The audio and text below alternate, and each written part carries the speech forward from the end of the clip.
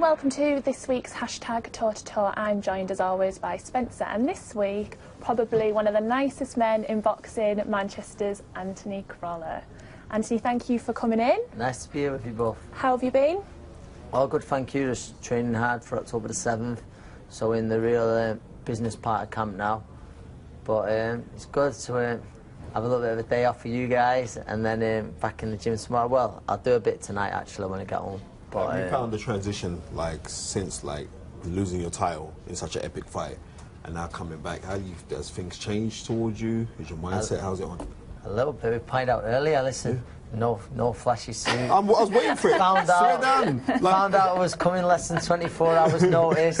Standard class on the train. it's all changed, son. It's Yeah, all You changed. know what, but no, it's right. Until I get that title back, then um, I'll get my first class ticket back on the You train. let me down with your attire because, like this morning, my missus, we're looking for the itinerary. What Do we you were know best in. what? My missus said, "Ah, Spence, Anthony Crolla's on, you got to look smart because that boy can. He puts it together. Nah, I've got it. I've had an off day today. I thought you was a builder. Mate. And also Callum Smith as well. How's he doing in training? Callum, Callum looks really well. Honestly, he does. He looks, um, he looks brilliant. Weight's very good. He's, um, he's been, and he's, he's one of them. He's been in the gym for a while, but I feel like he's peaking at the right time, like because he had the, the old WBC. Jack gave up. Uh, do Jack give it up, and then Callum was meant to fight the Dirrell brother. He pulled that. Yeah, it was dates got changed, so then he goes in uh, the Super Series. So he's nice now to uh, look forward to that, and uh, now he's ready for Saturday night. That's great. Okay, well, we'll get started. Lots of tweets in, mostly about uh, Golovkin Canelo.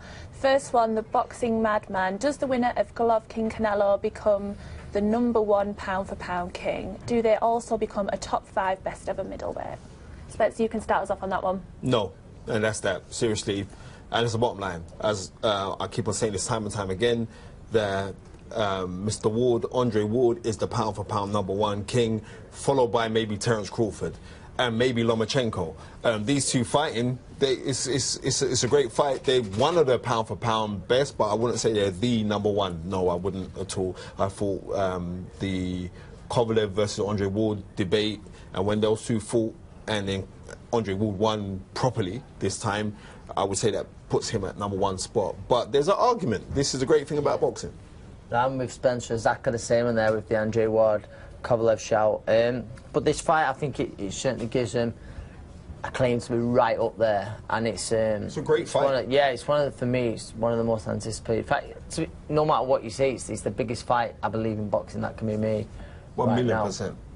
But sorry, I would not say that it'll put um, either of them top five pound for pound of all time in the middleweight division, where you've had great men like Sugar Ray Robinson, Carlos Monzon, Marvin Hagler, Bernard Hopkins, Harry Greb, who've never seen video footage of, but read about the guy. Then I wouldn't say that it puts them top five uh, all time middleweights, but it puts them in the top ten. Dan Frost has tweeted in Triple G looked vulnerable last time against Jacobs, but styles make fights. Is this the reason why Canelo is confident and now taking this fight? I feel that I feel Canelo had to take this fight now because there was only a, a matter of time. Some people say avoided, some say not.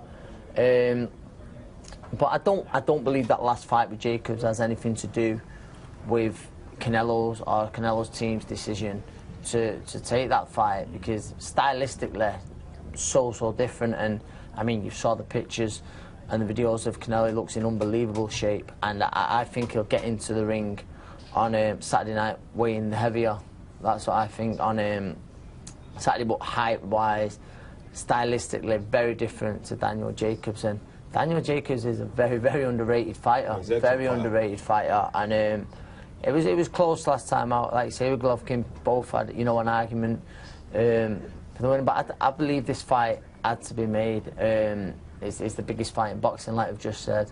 Hopefully, both guys getting a great payday, and um, it, it had to, it had to be made. And um, fair play to the promoters, the people behind the scenes doing it.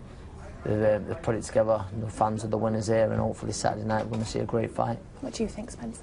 Um, if you watch the Danny Jacobs fight, which was an excellent fight, um, what Danny Jacobs did in that fight was actually administer body shots onto um, Triple G. And if you look at Golovkin, it, they hurt him. But he's very poker face. You know, that's Yeah, a hide like it's nothing, face, and you can yeah. he can just keep on plodding forward. Um, my concern in this fight is this: is like with Canelo. Canelo had to take this fight anyway. Right, there's no more, and it's no disrespect to Liam Smith. There's Yeah. no more Liam Smith fights out there. There's no more Amir Khan fights out there. This is a fight that you had to take, but everything's timing, as Babatunde Ajayi always tells me. Everything is timing, and it's the right time for him to go in there. I've had my reservations about um, Golovkin for years, and this is not saying that he's not a good fighter. He's excellent. I've had my reservations because people or young kids who ain't used to looking at punching power get gassed up. They seen punching power and like, oh my word! Like I've grown up watching Julian Jackson. I've grown up with Nigel Benn. I've grown up with real punch. Tommy Hearns, big right hand. I've grown up with these middleweights who are punchers. So I've never been oh, but he's very good. But Canelo, he's got excellent jab and he's got very good body work. And I tip Canelo to win this fight. It's not gonna be easy, but I tip him to win it, especially if it goes points. Dan Williamson, when was the last competitive fight in terms of two prime big names such as Canelo and Triple G? I think the fight we just mentioned earlier is uh, Andre Ward and Kovalev. Um, as be, we've been very lucky the last 12 months where we're seeing we're seeing um, some great fights made. I think like you look, the Floyd Mayweather Manny Pacquiao fight happened too, Two late. years ago. Yeah. Two years ago. Two years ago, it happened well too late. So as of late, we're seeing fighters getting there, aren't we? Um, who seem to be at the peak, or, you, you know, of their careers, fighting at the right time. Spencer? Yeah, I, th- I also think it's like in terms of like to get two big names. even though one guy wasn't at his prime, but Andy Joshua, what he demonstrated against Klitschko, even though Klitschko wasn't at his prime, but the knowledge of the the ring IQ of, of Klitschko is, is head and shoulders way surpass anything that Andy Joshua remotely knows. I think Klitschko knows more in his big toe than, than what Andy Joshua knows in boxing. There's no disrespect to Andy Joshua, right? So I thought that was a great fight. So we're seeing so many competitive fights now because not only that, but we the fans have a platform on social media to air their opinions to say, well, these are fights that we don't want to see. And they air them so much that you have promoters now who listen to the fans. on them, yeah. It does, and it's been great that we are seeing this and we're seeing more of it, and uh, and I think that's why it makes our sport so great. Darren Johns, who does Billy Joe Saunders have a better chance of beating, Canelo or Golovkin, providing he retains his title Saturday night? Golovkin, because he is an out and out boxer, and I think he seriously. Not only that, I think that Canelo's been in a better class of opponent than what Golovkin has. But regardless of that, Golovkin will be in with good guys and just beat them up. So, but I think he'd have the better chance against Golovkin. That's my open opinion. Yeah, I think yeah, I think I'm going to go with Spencer again. It's, it's a tough one. Listen, both very tough fights, um, both great fighters, but I think stylistically, um, Billy Joe Billy Joe is very underrated. He's got great movement, great great movement, and if you feel that Golovkin may be a little bit more suited to him, if he feels the need, he can just walk him down. Um, Billy Joe might have the chance of I agree. you know, outboxing him. And, you know, shout out there to Billy Joe. I saw the transformation in his body, and every credit to Dominic Ingle and the team there. Mate. He looks, um, it's, it's unbelievable from the last time he fought um, to, to this time. His, his body, total transformation, looks brilliant. And I'd also have to give Dominic Ingle a lot of credit for the simple fact is Dominic Ingle, from the Ingle, the Wincobank gym where Johnny Nelson, Naseem Hamed, Herol Yeah. Graham, they were all movers. The, him being with with him as a trainer, him him being down there now with with the Ingles, that will suit him ten times over than anybody else who was like more aggressive kind of style of fighting. This will suit him because he will revert back to his hit and hop it kind of style, and he can punch as well. Steve Parsons, how big a compliment is it to Jamie Moore that Carl Frampton asked him to be his trainer over more higher profile names? Massive compliment. It's a huge compliment. I mean, um, I think Carl Frampton could walk into almost any professional gym to any professional trainer um, in the world, and they'd be happy You think to. you think Joe would have trained him? You think Joe Joe- Gallagher would have trained him? Mate, I'd have to ask him that. No. Sean Wonder. I said almost. No, but listen, I think, Carl, you know what I'm saying, Carl. He's you could big. walk into, any, you know, to any professional trainer. I don't think that um, there'd be very, very few, if any, who would, who would turn Carl away. So for Carl to go to Jamie, um, is a great compliment to Jamie. Really happy for him. Jamie's a grafter. I saw him last week. He's um, happy to help Carl, and I I really hope that they gel. And it's the start of um, a great relationship. What was it in Jamie Moore that you think attracted Carl Frampton to him as a trainer? Good question. I Good think it's, question. I think it's um, Jamie Moore's honesty. yeah, He's a that was very sound, honest human being. Yeah. straight, right? yeah. And especially like within, you think about this, this sport of boxing has a reputation of being dirty and, and do you know what I mean, and manipulative and things Yeah. like that. And Jamie Moore is an honest person, and I believe in life that you don't get what you want, but you get what you are. And Jamie's honest, so I think they're on the same vibrational frequency level, and they think oh, I can relate to this guy. And, he, and Jamie knows boxing, Yeah. right? So it couldn't happen to a better person. It's a great compliment, but obviously. You know what I mean? It's, it's, it's comfortability, and I think Jamie will make him feel comfortable, but he'll also push him as well. Yeah. Thomas Lyons, do you feel Pulev will present any greater threat to Joshua than Klitschko, or is he just a weaker version of Klitschko? Pardon me?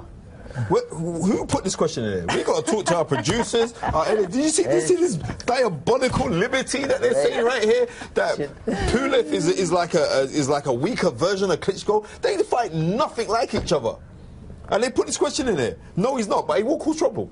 I'm telling you. He, you know why he will? Did you see his eyes? Did you, know see the guy's eyes? Yeah, no, he's, he's on He for wants it, but you know? Listen, I, do you know what? I'll, I'll put it out Joshua's there gonna knock him out, but he's, he wants it. It's not my, uh, my proudest tip, but I actually thought Pulev was going to be the man to, um, To top him. dethrone Klitschko, Really? and Klitschko ended up putting Vladimir ended up putting him one of his uh, best performances. So, no, I certainly he think he'll ask questions. He was hurt though. He was hurt before he knocked him out though. Yeah, no, I mean, Pulev hurt him. Very solid, great amateur background, and we've got to remember with um, Andy Joshua, he's still learning, he's still inexperienced. I always say it sounds crazy, an Olympic gold medalist, unified world champion. It's um, it's crazy to say that, but he is still learning. He is still learning. And, and Pulev, I, I saw a quote, I can't think where I saw it, and it says, Pulev, I mean, you're always improving, you're always learning this game, but he's learnt the job, whereas Andy Joshua's still learning. Is that if that makes sense? I, I totally agree with you, but the thing about it is this, when you have punching power like Andy Joshua, Yeah. you can learn on the job all you want because you know what? Uh, Not only that, but Andy Joshua has this spite and he gets bursts of energy where you don't Yeah. think he's going to get these bursts of energy. And I watched Pulev versus Derek Chisora. And Derek Chisora was having relative success against him. Pulev's a very, very capable fighter. Very, he's very Yeah. astute. He knows what he's Yeah, doing. no, he's got he's good ring, astute, very good solid. ring generalship. But when you're dealing with a proposition like an Anthony Joshua, Anthony Joshua leaves no stone unturned, and Anthony Joshua should be able to dominate him with a jab. But for the first three rounds, it's going to be interesting because Pulev does fancy that overhand right. Yeah. And Joshua got to be careful of that. What does Pulev need to do to beat AJ? I think you said then, like, he's got to look to sort of close the distance, and that overhand right over the AJ jab is, uh, in my opinion, but he's got to be smart on the way in. I don't think he can't just tuck up and um, expect expect to um, walk Big AJ down. I don't. I think he's got to be cute, and like I say, he's got a great amateur pedigree. But I think I think he's, if he's, he's to have any chance against Anthony Joshua, which which he does, he does have certainly at, um, in boxing. You're only a punch away, but um, I think early on he has to be smart. He has to be very cute early on. Okay. And reflecting on this weekend, Chris Johnson, after Usyk performance on the weekend, do you think he could handle the size and power at heavyweight if he moved up after the WBSS? Um, did you see him on the weekend? I that thi- I- guy's I mustard. think he's unbelievable. I've watched He's him for a long time, and um, I think he's um, a great fighter. And to answer Chris's question, without a doubt, yes, I do. It's um, he's got this confidence about him as well. It's like Huck for a lot of people would have been seen as as a tough fight, a hard night's work, but Made it look easy. He made it look so easy. And uh, me and Callum Smith were actually saying this the other day. I think they're very good mates. That I know they're from the same camp. and, um, Lomachenko, yeah, yeah, He's like a big. Lomachenko. you know, he, he doesn't move like a cruiserweight, in my opinion. And I genuinely think he can win this tournament, and he will win this tournament. Um, and then he goes on and he wins a world title at heavyweight. Can he handle? It says there, um, you know, the size. You look in the World Series of boxing. Um, he didn't lose. He didn't lose in the World Series of boxing. You know, in the amateurs. Yeah, he beat And, uh, Joyce in that. Joyce, Yeah, and quite- Joyce is quality. Brilliant, quality amateur. He's Olympic silver medalist. Um, some people thought he'd done enough in that final against uh, the Frenchman.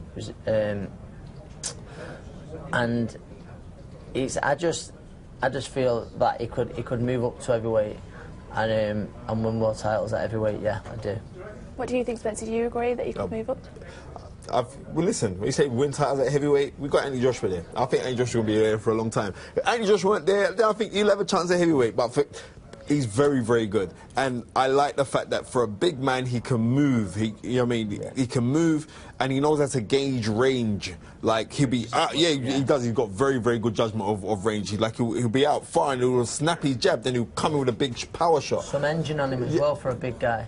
And he can put, he puts together combinations so well. Very, very good fighter. And it's mad because, like, the cruiserweights now are the old heavyweights of the past. So I think he could move up, but stay away from AJ. That's what I'm saying to you. Because AJ will smoke your boots.